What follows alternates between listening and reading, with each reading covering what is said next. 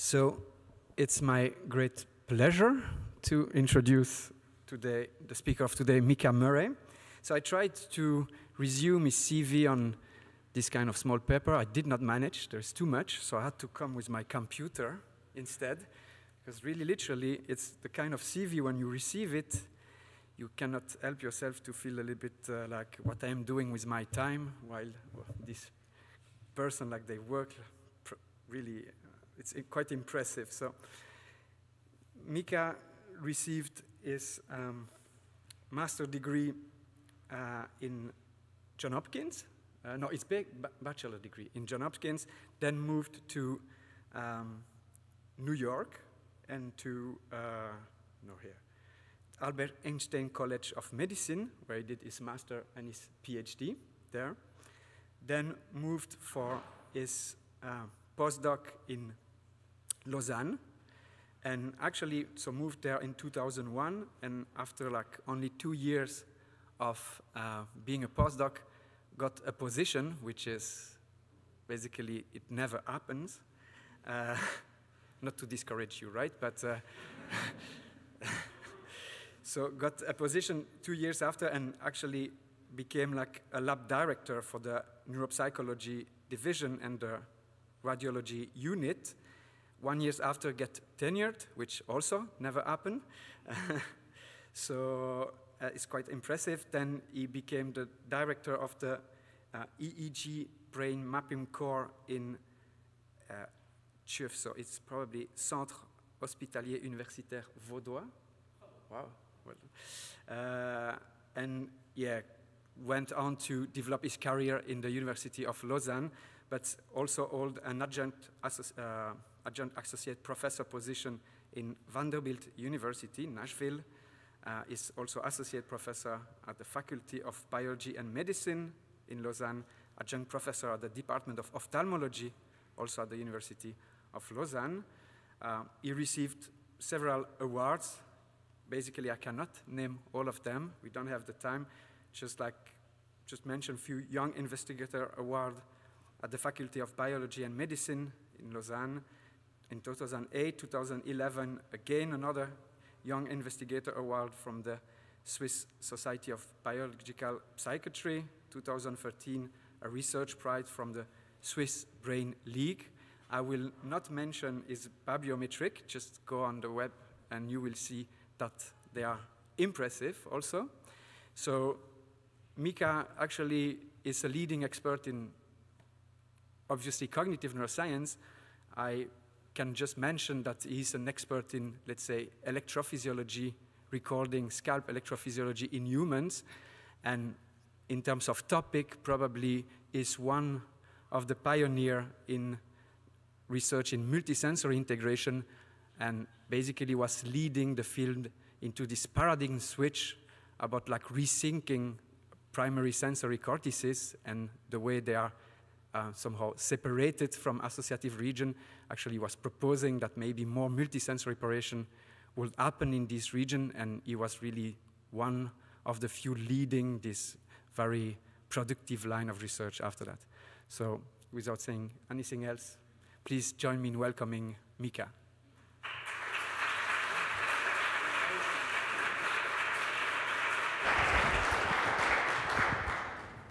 Well, now I'm thoroughly embarrassed, so that's a good way to start. Um, I hope you're all wearing orange. I've been instructed that today is the um, day to defend uh, women and violence against them, so I would encourage everyone to be thinking about that a little bit. Ciao, Carlo. Um, it's a particular pleasure, sorry. Uh, you'll understand in a moment, uh, it's, it's a real pleasure for me to come back here because uh, I get to see a number of, of, friends and colleagues that I've had the privilege of knowing and in some occasions working with uh, over the years. And so it's, it's kind of almost like a homecoming. And the people here that many of you either get to work with as colleagues or as uh, advisors are some of the most exceptional individuals, both scientifically and personally, uh, that you'll find. So you're very, very fortunate. And I consider myself very fortunate as well uh, to come here regularly and, and see dear friends and colleagues. So um, Olivier tried to embarrass me, and he did a very good job. Um, but the work that I do is, is really not only my work, but really the work of a huge number of people, uh, and I get to be their spokesmodel, so to speak, uh, although they could probably do a better job picking a person uh, with more hair. So uh, there are a few people in the lab, but also a few people uh, internationally who, who really do a lot of the work behind the work that I'll try and summarize today. Ah, yeah, the wife is at the beginning here. So she is a, a, a painter. Uh, so Francesco and I share a great passion for uh, combining art and neuroscience. And my dear wife is, is a painter. She actually just got invited to the Venice uh, Biennial uh, next year. So if you happen to hang out in Venice, which isn't so far, you can check out some of her work. Right, that's a good reminder though, Carlo. Uh, so I am actually a New Yorker, and I've lived in Europe long enough to slow myself down when I speak. Uh, but if I'm not slow enough, scream or shout. I also mumble, uh, and if you don't know what that means, then your English isn't quite American yet. If you do know what that means, good job. Uh, and that's a subway map of New York City, and it's, it's there to, to remind me of home, uh, and it's there today to remind us about this, this topic that Olivier talked about, which is who's talking to whom, when, and where in the brain, and to say what. And that's kind of the theme of, of my research, uh, I think, since the beginning, which is the, the dynamics of the brain and how that influences information processing. And as Olivier nicely introduced, what we've tried to do over the years is investigate how the different senses talk to each other. And I'm not the only one in the room who's been a pioneer of this. Uh, Max and Francesco have certainly been there alongside and often ahead of me, and I've kind of followed in a number of, of their footsteps. Uh, so I shouldn't take too much credit at all. Uh, it's, it's really been a, a, large number of people kind of beating the same drum. Uh, anyway, so you can take a textbook image of the senses and you'll see something like this that says there's visual cortex, auditory cortex, and somatosensory cortex. I apologize for excluding the chemical senses. They do exist. Uh, you're Italian, or some of you are Italian, so you know all about gustation uh, and olfaction. So prototypical textbooks will tell you that the primary senses don't communicate directly with each other because the fibers simply aren't there. And that model has been the dogma and has been the textbook image uh, for a long time. And that radically changed when uh, new techniques for retrograde tracing and anterograde tracing demonstrated monosynaptic projections between primary cortices. So you have, if, if you will, a new subway system and a new map of the brain that says, wait a minute, the senses can talk to each other as perception is unfolding. And if that's the case, then we need to rethink our basic understanding of how perception perceives, uh, proceeds. Excuse me. And recently we've tried to, to, tackle this again. This is another artwork by my good wife. Uh, she likes to get on covers of scientific journals somehow. Um, where we, we tried to also combine it with a view of how multisensory processing might change across the lifespan. And the basic if you will, framework that we're trying to suggest is that in addition to uh, canonical principles of uh, spatial correspondence, temporal coincidence, and inverse effectiveness, we also have to think about how these are changing across the lifespan along with learned associations. So as you learn what goes with what, and as you get statistics from your environment, how does that change the way that you integrate information? And this can change back and forth as you learn and unlearn things, as you develop uh, and as you confront new statistics in your environment. And that can be changed due to sensory loss, that can be changed due to uh, impairments of other sorts. So you can take many, many different examples of this. Uh, for example, as you learn temporal structure in your environment, as you uh, narrow your perceptual windows of what you will tolerate being put together, even as you learn, even as you learn more highly associated things like semantics, or even in the case visual uh, impairments and blindness. Again, I, don't want to go into the details of this as much as, as highlight that the principles of information processing between the senses are, are getting more and more complex. And I, it is a burgeoning domain where uh, there's a lot of research needed. So uh, don't, don't uh, walk away thinking all the work has been done. There's much, much more to be, to be done. So I'll skip this in, in the interest of moving forward. So what do I want to tell you about today? So I'm going to try and convince you that this new model of brain organization indeed exists, that the primary cortices are indeed loci of convergence and integration, and we can demonstrate this in humans, that this impacts our behavior and our perception, that we can change the excitability of cortex, that we can indeed use multisensory processes as a scaffold for things like sensory substitution, for things like memory, and we can tie together processes across the lifespan. So it's an awful lot of data. I'm going to throw a lot of information at you, but don't panic. You don't have to walk away with too much to take home. So how, how on earth do we demonstrate that there's convergence and integration in primary cortices? Well, behavior is a good measure. Um, I, I'm a neuroscientist, but I'm also an experimental psychologist, which means I like measuring what people do. Uh, and a good way to do that is just ask them to press a button when they detect something. Uh, so some of the people in the room have been pioneers of this. Uh, actually, I was just reminiscing how Carlo and I very much started in, in very similar uh, research topics uh, in terms of redundant signal processing in, in vision. Uh, and you can also do the same thing in multisensory processing, where you can show that reaction times are facilitated when you have two sources of information, auditory and visual, versus either alone. And then you can combine this with techniques like functional magnetic resonance imaging. And when you do, you typically get a signal every TR. Every TR is, is how long, sorry, I, I, I know there are real experts in the room, but I also know there are students in the room. So I'll try and target what I say more to the students, because that's probably fair. Uh, for those that are more senior, if I say stupid things, you can harass me afterwards. So typically, you, you get an image of the brain every TR you get a dot every, every time the scanner finishes collecting a series of images. And if you want to look at multisensory processing, this might not be an ideal way to do it because if you're looking for amplitude changes in this hemodynamic response, what you don't know is if a voxel contains multisensory neurons or two subpopulations of unisensory neurons. And we said, all right, how do we get around this? We want to use fMRI, but we can't look in this direction. Well, what if we could look in the temporal domain? Well, at the time, we couldn't in an easy way because the TR was slow. So what we said is, all right, what if we jitter the stimulus with respect to when we take the, the image acquisitions? So what if we just keep repeating the stimuli and take the picture, if you will, of the brain at very different times, almost like a, a, a video camera taking pictures at different moments in time, and you simply start the video camera at different points. And you can fill in the dots this way. And if you do it enough, you actually can start looking in the temporal domain instead of in the amplitude domain.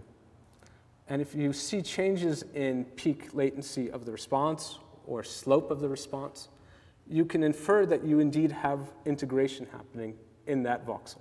And that's precisely what we did. What we found were a couple of interesting things. Let's see if I can manage this.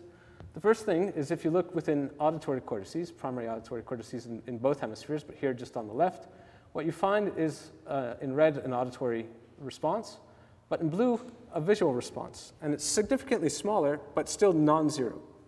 And what that indicates is convergence. There are voxels responsive to light.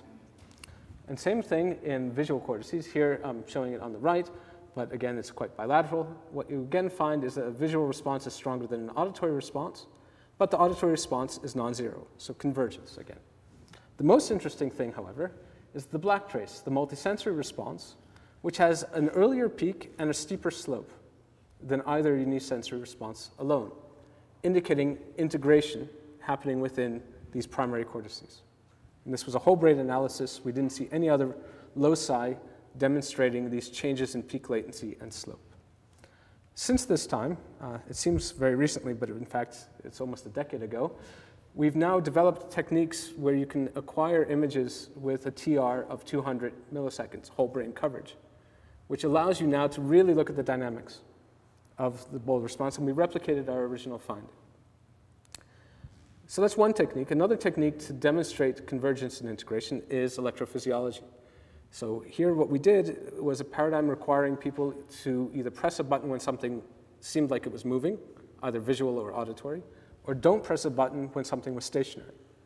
And the advantage of this, and this uh, will be for more aficionados, is that if you have a motor response and you're comparing using an additive model, the multisensory response has one motor response, and the visual response has one motor response, and the uh, auditory stimulus has another motor response. So you'll be comparing, if you will, two motor responses to one. And so, of course, you'll have nonlinearity because you're comparing two to one. If you take the trials when there's no required motor output, you get rid of that confound. And that's exactly what we did. And we looked for nonlinearity in the event-related potential. And what we found was that starting at 50 milliseconds, there is indeed nonlinearity in the system. And you can look as well, sorry, topographically, if you look at the maps of the response to the multisensory pair, the summed responses to the unisensory constituents, what you find is these topographies aren't the same.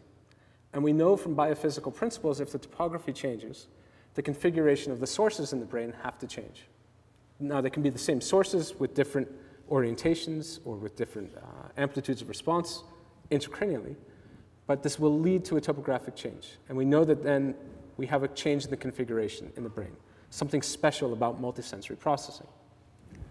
So we can conclude that. We can also conclude that these are subadditive effects. So you can look not at a single electrode, but at global measures of the electric field strength.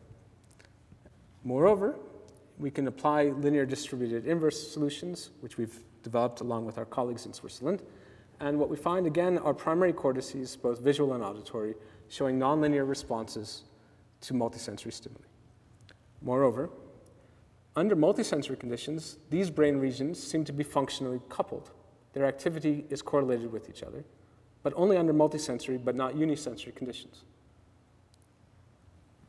So these are two techniques that we can use to demonstrate that convergence and integration is happening, but does this have anything to do with behavior and perception? One technique, again, is to take psychophysics and combine it with single pulse TMS. And there are actual experts in the room about TMS. Uh, I'm not one of them, but I enjoy using TMS as a technique to probe the involvement in a more causal manner of a given region or set of regions in a given perceptual function. So we can combine a simple detection task with single pulse TMS over the occipital pole. What you find is what others have found numerous times since the late 80s, that over a prescribed time window, usually from about 60 to 120 milliseconds or so, reaction times will be slowed down if you compare, uh, combine, excuse me, an external visual stimulus with a single pulse of TMS over the back of the head. If you give an auditory stimulus, you can actually facilitate reaction times. And interestingly, over the same time window. So the TMS pulse has to delay the auditory stimulus, again by 60 to about 120 milliseconds. If you give a combined multisensory stimulus, you effectively get an annulation, uh, cancellation, sorry. My English is sometimes turned into French. I don't know if this has happened to others in the room. Uh, I've lived abroad long enough now, my English is severely impaired sometimes. Anyway, if you give a multisensory external stimulus with a single pulse of TMS over the back of the head, you get a cancellation effect on behavior. Quite interestingly, the benefit that one observes on reaction time with real stimuli, um, auditory and visual stimulus in the environment, and compare that to the benefit on reaction time of combining an auditory stimulus with a TMS pulse, these two benefits are highly correlated. So it seems that whatever we're emulating when we apply TMS to the back of the head and combine it with an auditory stimulus emulates what might be happening when you give a real multisensory stimulus in the environment. We then also wanted to look at these conditions when you are making a motor response. And here, the stimuli were dynamically moving or, or perceived to be moving at you or away from you. So looming or receding. And what we again observed are nonlinear neural response interactions at the level of the event-related potential. And what we found is that the nonlinearity seemed to be specific to when stimuli were auditory and visual and both coming at you, a multisensory looming stimulus. We did not see the same nonlinearities, at least over this early time window of about 70 to 113 milliseconds, for other combinations, either two stimuli receding or one looming, one receding, and so on and so forth. What we observed behaviorally was also that reaction times were facilitated for all multisensory conditions, but even more so for multisensory looming stimuli. If you look at the relationship between the percentage gain on reaction time and the percentage gain in terms of nonlinearity of brain responses, we find that there's a, a linear relationship, quite reliable one, only for the case of multisensory looming stimuli. So whatever integrative process is happening at this early latency seems to be linked to how fast you will be to respond to the stimuli. So we can take this further and, and push the question of how do you, how do you explain this facilitation of perception and behavior? So again, we went back to TMS as a, as a more causal technique, and, and together with Vincenzo Romei and Gregor Thut, we looked at changes in the excitability of visual cortex as revealed by phosphene perception. So what we did is for every individual participant, we determined their phosphene threshold, and then we turned down the amplitude of the TMS output to about 85% of that threshold. What that means is that in the presence of a TMS pulse alone, people report phosphenes about 27% of the time. And now what we did is we added a pure tone on some trials. And what, people, what we observed is that people started reporting phosphenes more and more, depending again on a specific delay between the sound and the TMS pulse, which follows an alpha oscillation. Gregor and, and Vincenzo have, have followed this up much more extensively than I have, uh, but it indeed does follow uh, an alpha oscillation. So what we found is that sounds can increase the excitability, or seem to increase, the excitability of visual cortex. We pursued this a bit further to ask, well, do all sounds do this? And what might be the sources of this auditory input onto visual cortex? And how do we do that non-invasively in humans? One way was to look at the dependence on, on bandwidth and frequency of the sounds. So we first looked at the center frequency, and what we found is that higher frequency sounds seem to give the highest change in excitability of visual cortex, even though they're perceived as equally loud.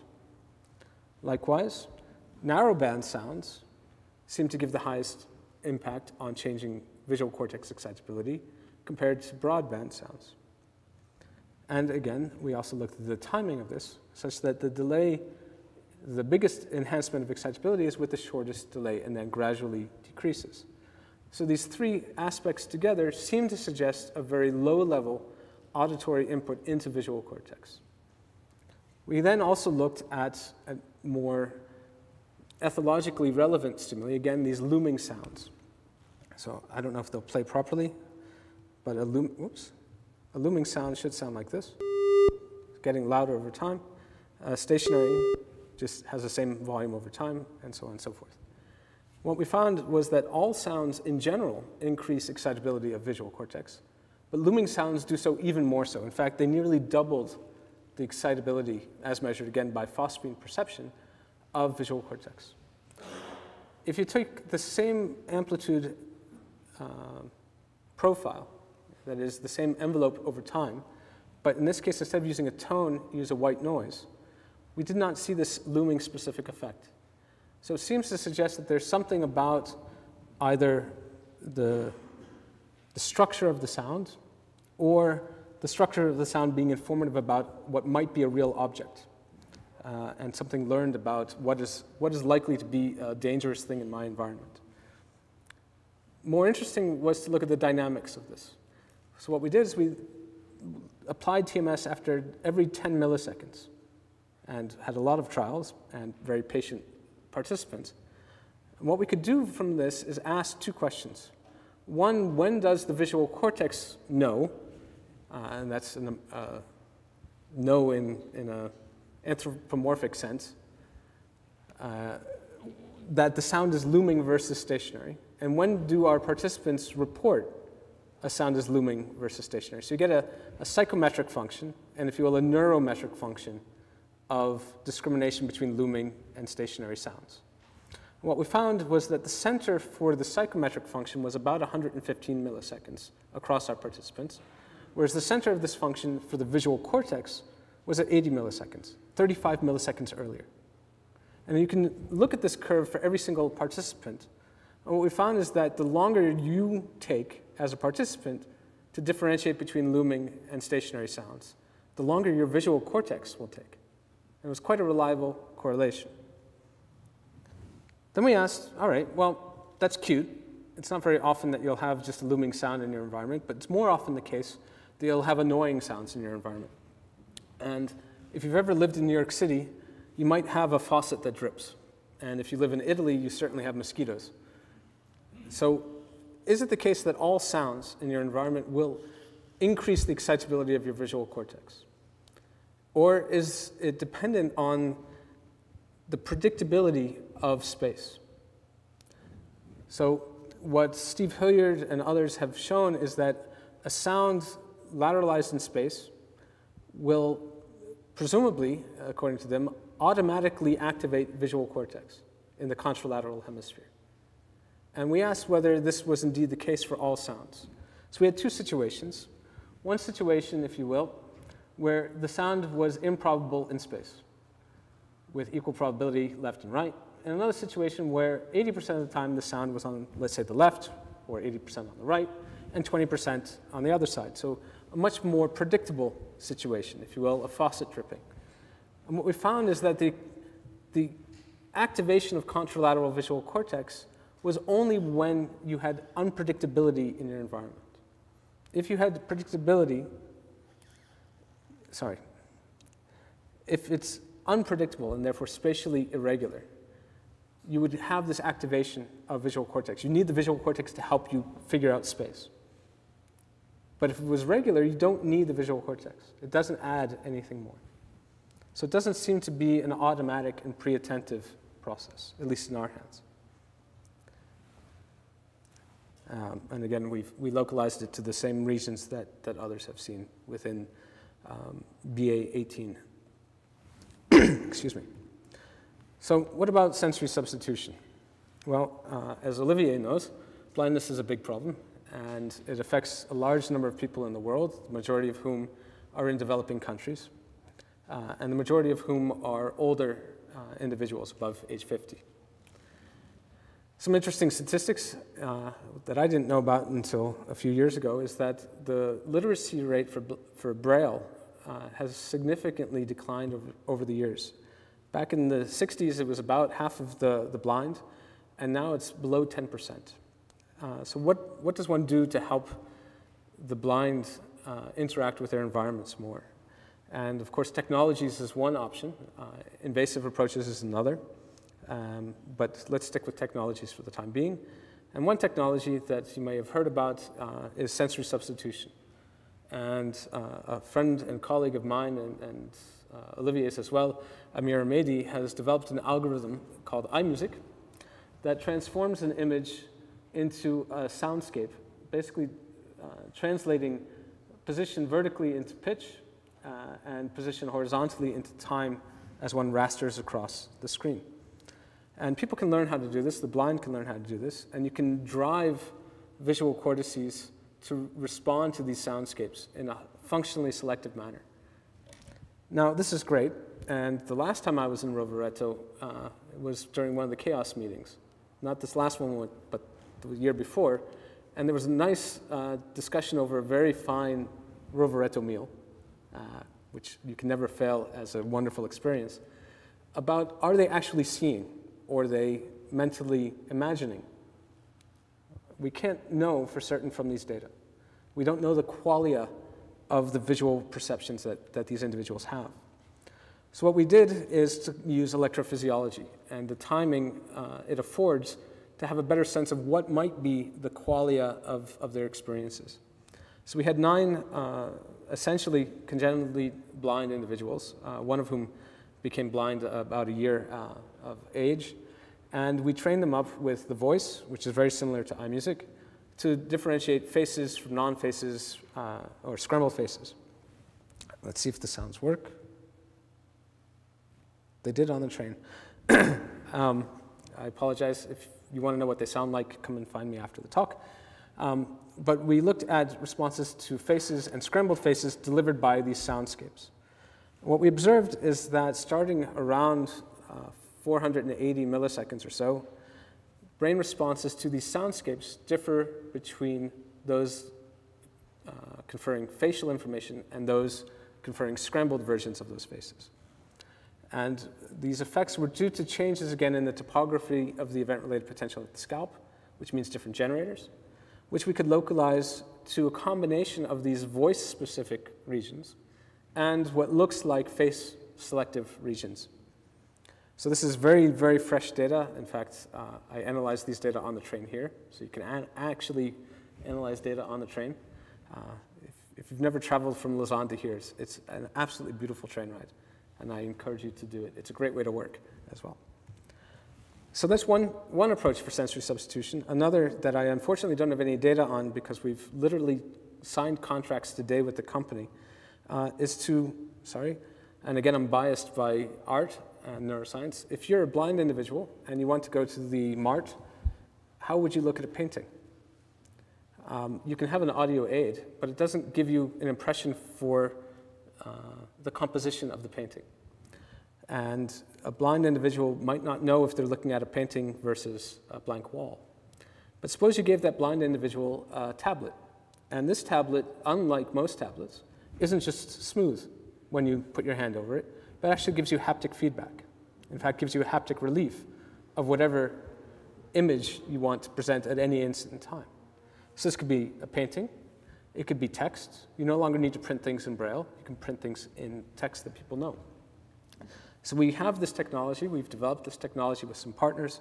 We're now testing to see exactly the brain mechanisms involved. Uh, so we want to compare this in particular to other auditory aids to see which features and which functions can be combined, uh, as well as understand how you can use different sensory modalities to help specific functions like navigation, mental rotation, uh, object recognition, object invariance, and so on and so forth. So I'll come back in another bit of time and tell you more about that. So what about recognition memory? So uh, again, for those Americans in the room, you'll understand the joke. For those that don't, just ignore it and don't worry. A guy walks into a bar and has a few experiences. Uh, so he notices one woman who doesn't say much. And I apologize in advance. I am wearing orange. I'm against violence against women. This is a free image that I got. It's not meant to be sexist in any way, shape, or form. Then there was another woman, but it's paired with an incongruent sound. In fact, a man's voice. Another woman who just has her phone beeping all the time. and finally, a, a, fourth woman who has a semantically congruent auditory experience together with uh, her, her visual expression. And unbeknownst to this poor man in the bar, one of them has picked his pocket. And he later has to figure out who it is. Who would he remember best from these four experiences? if he had to do a lineup. And again, this is a caricature just to get you to understand the basic concept. Or if you go to a conference and meet somebody, who will you remember best? Those people with whom you've had a multisensory experience, or those individuals where it was only auditory or only visual? So we asked this, uh, not lining up women uh, in a police room, but instead using a, a continuous recognition task that required people to tell us for every single item, is it being presented for the first time or for a repeated time? And unbeknownst to the participants, sometimes there would be an extra sensory modality. It could be visual, it could be auditory, it could be tactile. And so there were two types of repeated images in this case, images that had been presented with sounds and images that had been presented just visually. And these were only single trial exposures to these multisensory contexts. And what we found across many experiments now and across modalities is that those images or those sounds that had been paired with a semantically congruent event are better remembered than those images or sounds that had not. And those that had been presented with a semantically incongruent or even meaningless event are remembered worse. So it seems that the context in which you learn things can very strongly influence your ability to remember those things and you can actually get a benefit from multisensory context. So change of context can be beneficial. And we, of course, looked at the electrophysiology of this. And what we find is that incoming visual information is differentially processed according to how you previously experienced it just one trial, single trial, and it could be many, many trials ago, starting already at 60 milliseconds. So really the very initial volley of activity within the cortex differentiates between those images that had been just visual, and those images that had been multisensory, even though the multisensory context is completely task irrelevant. And in fact, the participants didn't even report being aware of the multisensory context. They were doing the visual task, which was quite challenging. We did the same thing in the auditory modality and saw effects, if you will, even earlier in time, but later in terms of the temporal hierarchy of processing in the auditory system is much faster. But here, the latencies were earlier, about 35 milliseconds. Same type of effects. Enhanced responses within auditory cortices for sounds that had been presented with semantically congruent images. So what about the lifespan? Well, we can again go into the bar and look at the, the man that goes into the bar, but what about the bartender? Who would be the better witness for who pickpocketed the poor guy?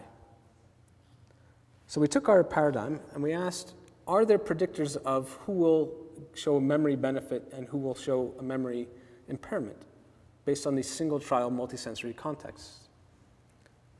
So we found that there were some people that benefited, some people that didn't. And we asked, is there something about how they encode the information? So there are multisensory trials and unisensory trials. Are their brains responding differently in response to multisensory stimuli? And those individuals who would show a memory benefit showed stronger multisensory responses than those individuals who wouldn't. In this case, starting at about 270 milliseconds within inferior parietal cortices. There was no difference, or no reliable difference, in their unisensory processing. So it's not that these individuals who do benefit are special. They're special in how they process multisensory information. We did the same experiment on a different set of individuals doing the auditory task, and again saw some people get better and some people get worse. And those individuals who get better show enhanced multisensory processing again, and again within the inferior parietal cortices. But again, no difference in unisensory processing. So there seems to be something special about how people process multisensory information at encoding that will determine whether or not they'll show memory benefit at recognition. And what about kids? This was my daughter a few years ago when she was first learning how to read, which uh, anybody that has children will think it's awfully cute. Anybody that doesn't have children will think it's awfully annoying. How do you teach a child to read? Uh, and how do you get them to take, if you will, an arbitrary pairing of a sound and visual stimulus and put it together and know what it means? So we didn't quite look at reading. Instead, we took the same tasks that I've been presenting you all along, meaning a simple detection task and this recognition memory task. And we asked, is there a, a, a link, a correlational link between benefits in simple multisensory binding as measured by this reaction time facilitation, and memory enhancement on this memory task. What we found, and these again are, are quite preliminary data, but from a, a group of, of, young children, is that the extent to which a child shows facilitation of multisensory detection is correlated with the extent to which that child will show benefit on their memory for visual stimuli that had been initially presented in a multisensory context. So the more they'll take advantage of these multisensory contexts in their environment. And what about the other end of the spectrum? If you take older individuals, what we found there on this detection task is that there are some individuals who are visual dominant and auditory dominant, but this didn't differ across uh, age groups or even in individuals who are older and have mild cognitive impairment. What does differ is the extent to which that facilitation exceeds what you would predict based on probability summation alone, such that older individuals show greater um, violation of this race model inequality. So if you will, more nonlinear enhancement of their behavior. And in particular, uh, if you're an auditory dominant individual. The more interesting thing, I think, and again, these are very preliminary data, is that the extent to which one's reaction time is facilitated seems again to be correlated with people's memory performance, here measured on the mini mental state exam, such that individuals with a higher uh, facilitation of their reaction times score better on the MMSE, even though they're all qualified as being mild cogn mildly cognitively impaired. So this might be another way to, to probe the integrity of memory processes using a much more simple paradigm that is perhaps more accessible to a larger number of patients. The other domain that I think is quite promising uh, in terms of sensory processing, but also multisensory processing, is how this develops and how necessary uh, the sensory environment at birth is for the proper development of sensory systems. So premature kids are, are born, about half a million are born per year and survive.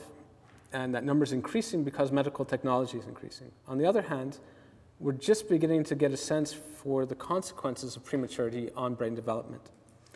And what we've done in this case, uh, this isn't at all multisensory, but instead simply tactile. What we did is we looked at about 60, uh, sorry, 55 full-term kids, 61 preterm kids in the NICU during the first days post-birth, uh, or the equivalent in the case of the premature kids. And what we found is that responses, what we first did was use a normative approach in the full-term kids to identify what is somatosensory processing looking like in a full-term baby. We then use this to um, classify brain responses from premature kids. What we find in premature babies is that the response to touch is severely impaired. But the response to the sham stimulus is, of course, not. The more interesting thing is that even if you control for the extent of prematurity, the number of positive experiences in their life in the NICU will facilitate a normal, normalization of their response to touch. Whereas the number of negative experiences in the NICU, such as heel lances to, to take blood, tube insertions, again, all medically necessary procedures, so we're not going out and hurting the kids on purpose, but the number of those will impair their somatosensory development.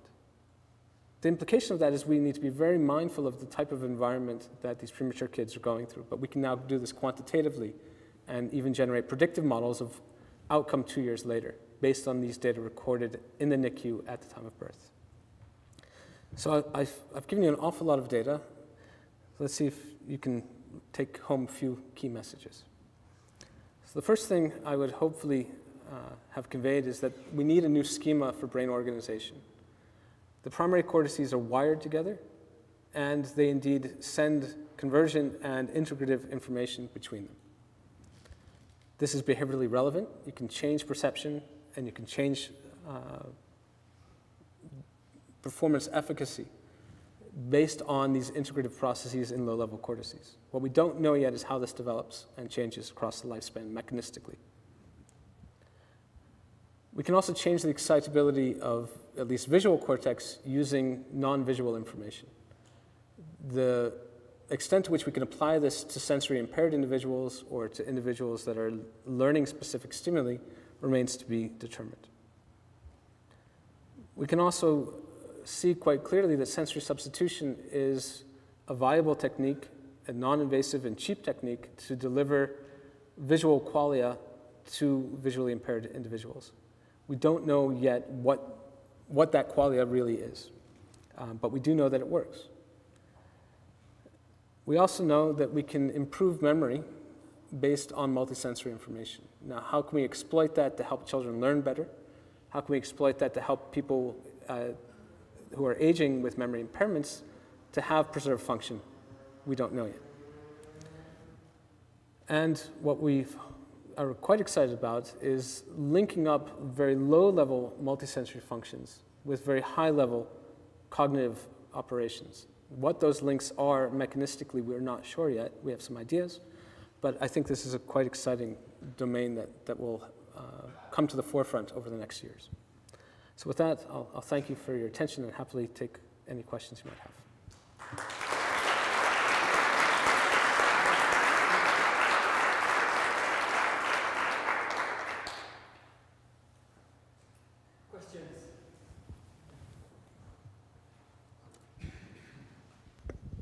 Thank you so much. It was really brilliant. I have a question related to your um, findings related to the inferior parietal areas that seem to play a key role in integration of multisensory information, which comes a little bit out of the blue in your talk in that you were highlighting direct connection in between uh, sensory areas. So what uh, have you been characterizing the responses in that particular region and what do you think it happens there? Right. Um, we were surprised a bit uh, to one, uh, in one extent. Uh, bear in mind, these effects in parietal cortices, at least in that paradigm, are uh, happening during the encoding. Uh, and usually what we're looking at is sensory processing uh, when we're seeing these primary cortices involved. That said, the involvement of parietal cortices is not surprising at all. Uh, has shown this quite nicely in terms of uh, its involvement in uh, perceptual outcome, in terms of uh, memory uh, performance as well. So the localization wasn't surprising to us. The timing is a bit surprising. It's a bit late. For my, I mean, for me, I'm, I'm somebody who loves super early things. But again, uh, it may be a consequence of the task itself. People didn't have to pay any attention to the multisensory. In fact, we're discouraged from. Uh, so that may influence the timing of these effects. Um, it's also single trial. If people went through a study paradigm where they had to form these associations, a, a strong prediction would be that these effects would move lower in the hierarchy. Now, that's a prediction that requires empirical data. Um, we're working on that. We're also working to see how long these effects last, because uh, so far we've done it within a session and that could be up to a couple minutes, but that doesn't really help anybody in real life. Uh, so now we're looking over time uh, as well as the influence of sleep quality. Uh, but again, these are all things in progress. Yeah, yeah. Perfect. Um, you were also, if I understood you correctly, with the elderly people showing a correlation between the facilitation of the congruency well, of the multisensory but congruent trials, I guess, mm. versus unisensory. No, here, uh, uh, these data are just a simple detection task. So it's a flash of light, so literally a circle, and uh, a pure tone. Oh, I see. It so was not the image with the sound. It wasn't was the, the memory task. We're okay. doing that now in elderly, mild cognitive impairment, Parkinson's, um, MS. Um, we're collecting the data. That's the nice thing of being at a hospital. Patient okay. access. Thanks.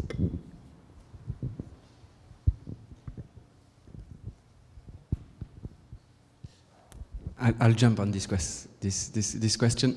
Um,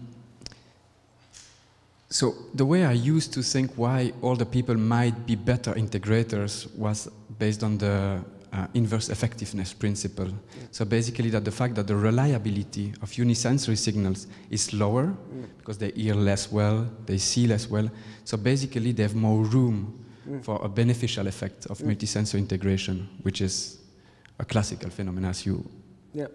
So the point is that it's difficult to relate. So first, do you see that in your data, that basically that like there are they're basically processing less well these simple flash and yeah. simple sounds, and maybe that can be explained. And if it is the case, so how do we relate that? Or people that have less um, reliable unisensor information are better in yeah. eye-level cognition? Yeah. Um, right. Uh, it might be a long-winded answer, so bear with me. Um, we've, in most of our experiments, we use, we deliberately use suprathreshold stimuli. So blast the system, if you will. So these checkerboard stimuli are very super threshold. It's probably not a proper term, but it's hard to imagine an unreliable response to a checkerboard.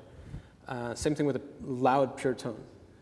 Um, that said, we do see inter-individual variability, but it's hard to, to have a quantitative measure of response reliability from behavior.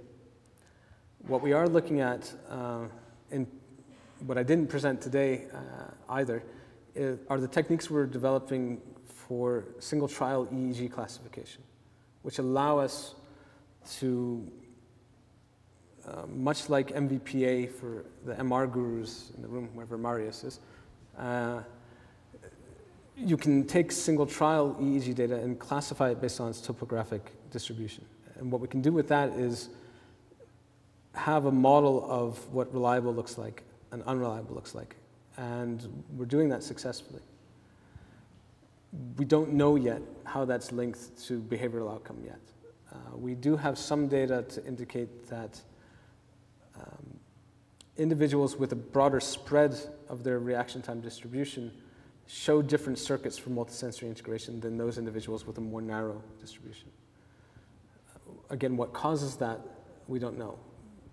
It doesn't seem to be the case that any individual will be always unreliable or always reliable. There are fluctuations, and that's probably linked to a lot of the things that uh, I know that you're interested in, but I also know that Carlo is interested in, in terms of what is the brain state at the time of stimulus delivery and how that determines, if you will, reliability of information processing. So if you give the stimulus at the right phase of brain activity, you'll actually get a better performance. Now, that said, in our data, um, we haven't seen any pre-stimulus dependencies on our behavioral outcome. Now, I don't know why that is. Um, Charlie Schroeder and I are trying to look at that a bit more. Uh, sorry for this is perhaps internal. Uh, people, Charlie Schroeder is a big proponent of uh, phase resetting as a mechanism for multisensory integration, and uh, was also my thesis supervisor many decades ago. Um, we're, we're trying to look at that. Now, another interesting thing to make it even more complicated we've done psychophysics in the monkey, and they do seem to follow very tightly inverse effectiveness. What we we did the same experiments in human beings, and we can't replicate what we see in the monkey in the human. And I don't know why. Um, it seems that humans don't reliably follow a simple inverse effectiveness principle. And the looming data, to me, are the strongest evidence for that. So bear with me and I'll go back, and then you can attack me some more, which is, is what I'm here for. Um, so in the looming case, if you take a simple view of, of, of what um, inverse effectiveness would predict, a looming stimulus is actually uh, minimally effective at first and getting more and more effective because it's getting bigger or louder. But compare that to something that is big to begin with and getting smaller, or big and stays big, or small and stays small. The, the biggest gain should be with the tiny little stimuli. And that's not what we see in humans, at least in our hands. Um, and that's not what, what Chris Kayser has seen when he did the same stuff with looming in the monkey. So it may be that inverse effectiveness works very well, and this relates to the thesis for tomorrow, to single unit recordings and spiking activity. It may not correspond very well in all circumstances to all types of stimuli in population responses.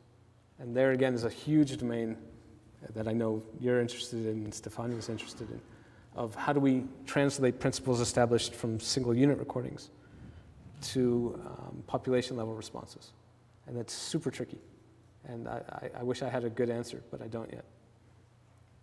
I don't know if that resolves your question or not, but.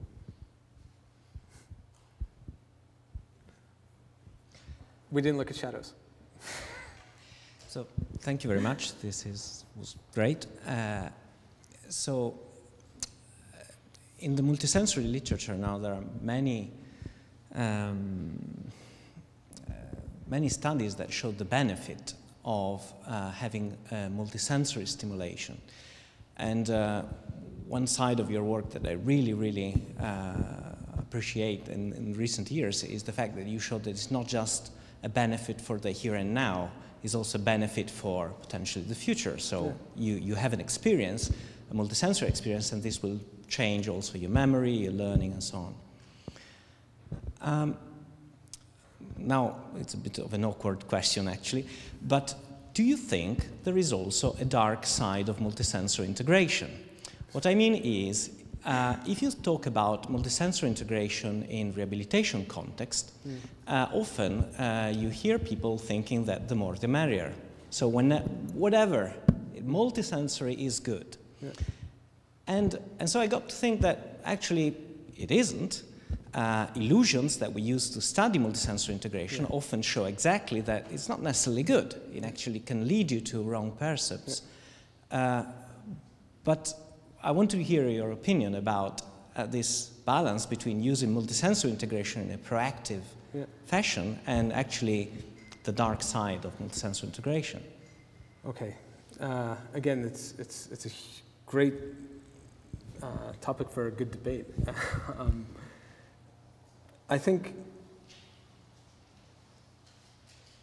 in rehabilitation, you have to get the brain ready for um, dealing with multisensory stimuli again. So, in the case, let's say, of stroke, uh, there are other issues that the patient has to deal with before they can deal with reintegrating multisensory information. Their attentional capacities are changed, usually, let's say, neglect or extinction. Um, their spatial representations are completely wacky. It's probably not a politically correct term, but um, and so there is a dark side. Or you can take the other extreme of uh, cochlear implant users. So uh, deaf individuals will, of course, use visual information to, uh, well, you know this actually extremely well, um, to help them hear better.